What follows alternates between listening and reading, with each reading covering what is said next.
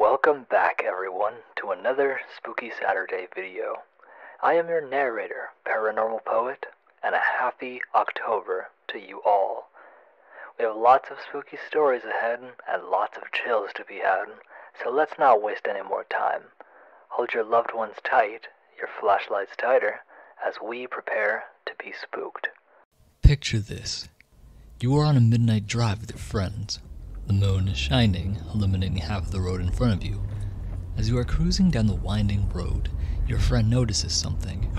On the right hand shoulder of the road is what looks like roadkill a dead deer. Poor thing must have gotten hit hard.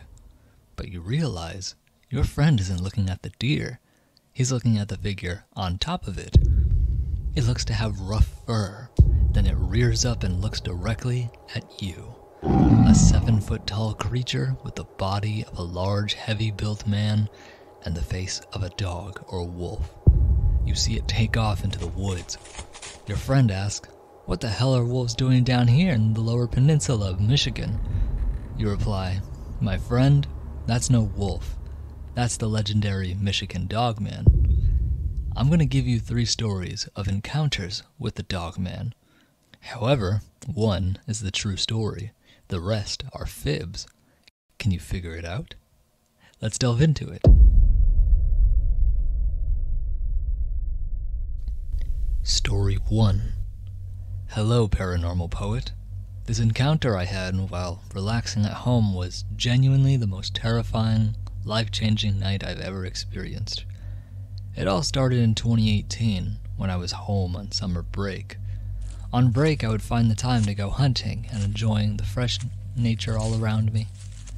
The days would get hot and cool off by the end of the day, so most of my family would wait until it got dark out to spend a couple of hours around our fire pit, enjoying the cool weather and cracking a nice cold one with the boys. One particular night, it had been unbearably hot.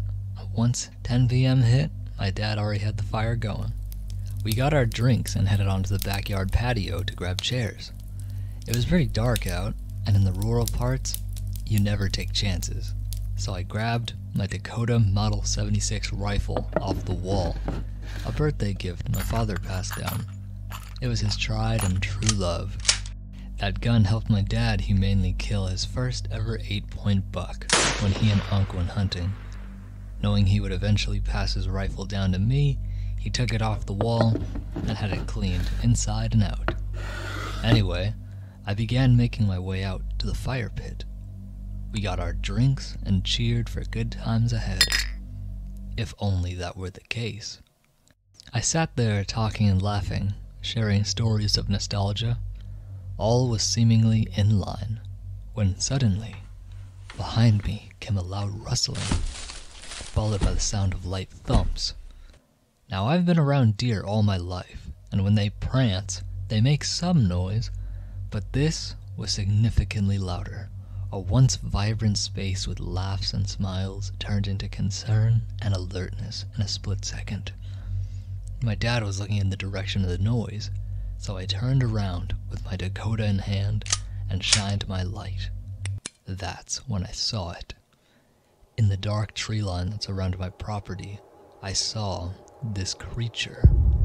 This half man, half wolf like creature on its hind legs and just staring at us. He was just about 50 yards from the fence. One thing that stood out was its eyes. Upon shining my light on its eyes, they lit up a bright amber. Unforgiving, oppressively bright, and undeniably hungry. I could hear the thing breathe, and with every exhale, it was growling. The cold Michigan night made it so I could see its breath. This thing was large and intimidating. Just when things got tense, I heard my dad behind me say in a lowered voice, Center Mass. In my mind, I said, Are you insane? This creature glaring its teeth at us, probably at its next meal, and you want to guarantee we get killed by provoking it. It hasn't harmed us to this point, so I figured a purposeful warning shot would convince it to leave. So I aligned my reticle in its direction, but purposely aimed at the ground and fired. The damn thing didn't move one inch. It stood there and looked at me, almost to say, That's the best you got. And shortly afterwards, the creature disappeared behind the tree line. My dad whispered, If it were me, I would have laid a bead between the bastard's eyes. I've been living here all my life, and I know the legend of the dog man well. It's just I've never had my own encounter till that night. From then on, no matter how comfortable and safe we felt in our backyard, I stay armed in case it comes back. Story 2 Hello, paranormal poet. My name is Malachi, and the experience I'm about to dive into is probably the reason I was reluctant to reach out in the first place. It was unbelievable. But I know what I saw. We begin this experience last year, October 2023. The sun crested over the hill and beamed down this intense heat, and we all felt miserable. My parents, seeing how understandably miserable we were, decided to cheer us up by having us spend some quality time with our cousins. They have a property not far away from us, and theirs was beautiful. I was now eagerly waiting to go into the car and go. When we finally arrived, we were so excited to explore and hang out with the cousins for the evening. They took us and sat us down by the family room and did what teens do best play video games. At some point, we all got up and dispersed to do our seemingly our own thing, after an amazing dinner, of course. This is where things begin to get terrifying. While inside, I felt my phone go off. It was my close friend, so I went to their backyard so I could hear him speak. After a few minutes of friendly small talk, I told him I had to go and promptly hung up. That's when I felt my heart start racing. The ground beneath me was shaking, but it was really my legs. I was really confused. I just had a sudden wave of fear rush over me. I would soon understand why.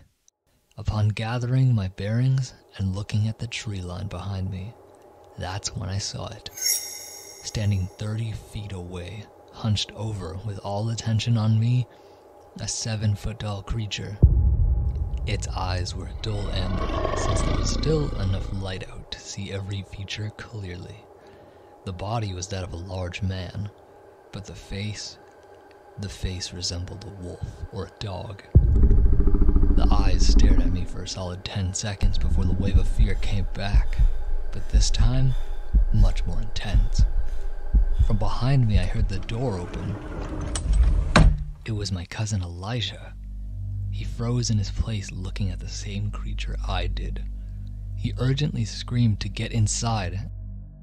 As I started bolting back into the house, I heard rustling behind me. At that point, I knew he ran to the tree line where it emerged from.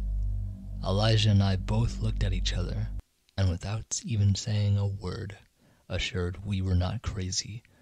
We both had seen the Michigan Dog Man.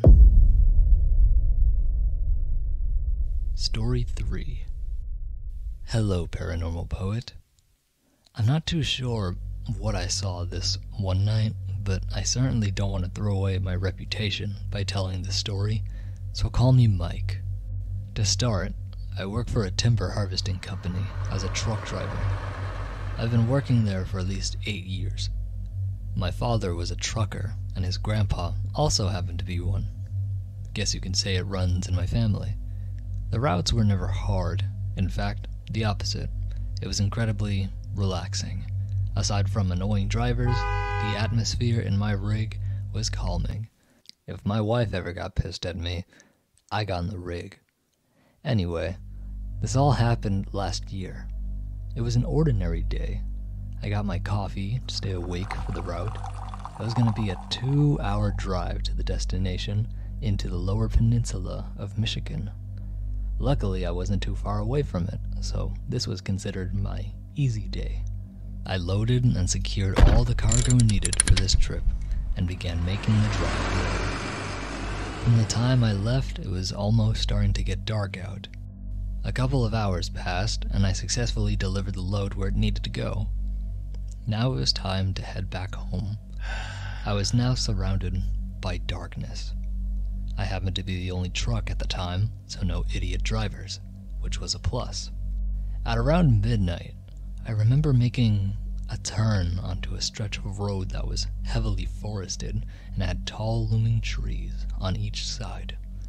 I was leisurely driving through this stretch when out of nowhere I felt a large thump on the passenger side. I definitely said words my wife would hate all in rapid succession. Thinking I hit a deer, I quickly opened the door and checked if any car was behind me. Thankfully, none. And so I proceeded to go to the passenger side. That's when I saw a dark silhouette leaning against a tree. It was around seven to eight feet tall, with really dark fur. Now, I'm a pretty big fella, 220 pounds in fact, but whatever this was, was bigger than me. It noticed I was staring at it and only glanced at me for about two seconds before it dashed into the woods. I looked at the passenger side door, and I saw a pretty significant dent. He must have hit shoulder first and got clipped as I kept going. I didn't have much sleep that night once I got home. I don't tell anyone this story, but I couldn't stay silent forever, so I figured I'd tell you. That was quite an encounter. If you enjoyed this video and you are new here, definitely please hit that subscribe button as we do this every Saturday. I truly appreciate you all for being here. See you next Saturday.